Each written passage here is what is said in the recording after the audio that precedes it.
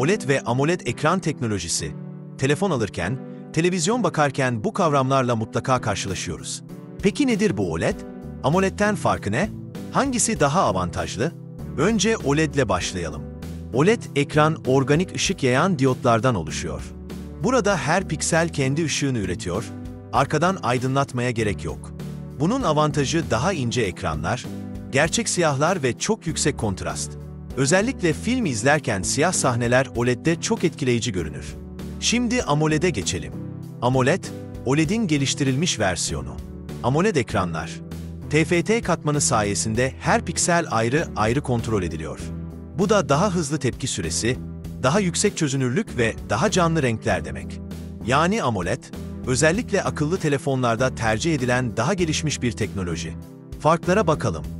OLED ekranlar küçük cihazlarda gayet yeterli performans sunuyor ama parlaklık ve büyük ekran konusunda sınırlı kalabiliyor.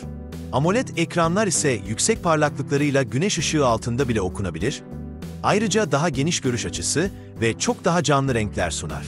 OLED'in artısı daha uygun maliyetli olması ve enerji açısından küçük cihazlarda verimli çalışması. Eksisi ise AMOLED kadar parlak olmaması. AMOLED'in artısı yüksek parlaklık, canlı renkler, hızlı tepki süresi. Eksisi ise üretim maliyetinin yüksek olması ve uzun vadede yani ekran yanması riskinin daha fazla olması. Özetle, OLED temel teknoloji, AMOLED ise onun daha gelişmiş, daha güçlü versiyonu. Eğer uygun fiyatlı ve basit bir çözüm istiyorsanız OLED. Ama renkler patlasın, ekran parlak olsun, oyun ve multimedya deneyimi üst seviye olsun diyorsanız AMOLED daha doğru seçim olacaktır. Bu bölümde OLED ve AMOLED teknolojilerini konuştuk. Umarım kafanızdaki soru işaretlerini gidermiştir. Bir sonraki podcast'te görüşmek üzere, hoşça kalın.